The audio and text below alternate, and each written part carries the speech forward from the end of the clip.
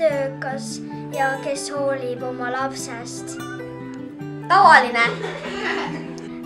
tore ja lõbus ja. minu jaoks võiks olla hea isa tore, lõbus ja tal võiks jääda tööst aega üle, et oma lapsega mängida. tore, ilus ja lahe. tark, töökas, ilus ja,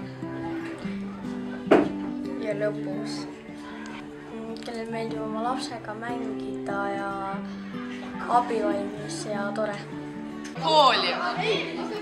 milline on hea isa? hooliv. on hooliv. meie isa on hooliv, onju? jah, hooliv. selline, kes hoolib oma lapsest ja austab ja ta on ilus ja kena ka. tore, hea ja tark. Hea isa võiks äh, äh, oma lastega palju tegeleda ja oma pere äh, üleval hoida, et nad ei peaks, et nad ei peaks olema vaesed. sõbralik ja ta peab nagu lapsega hästi läbi saama ja ei tohi haiget teha ja sõbralik.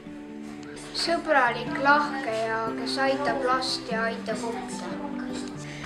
Tark, töökas ja tal peaks aega üle jääma ja